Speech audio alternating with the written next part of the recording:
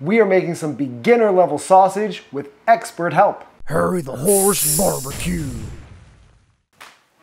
Chud's Barbecue Sausage Starter Mix.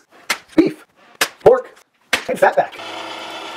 Our Chud's Barbecue Sausage Starter Mix, we know it's ready to go when it sticks to our hands. Get off me. No air pockets. Making some big old wieners. These are gonna hit an overnight rest, then we'll cold smoke them off tomorrow. Boom. Pretty plumpy, I will say. Just look at that. That's just a pretty wiener. Whoa, that's like the waterfall in Flavor Town. Mmm, mmm, mmm.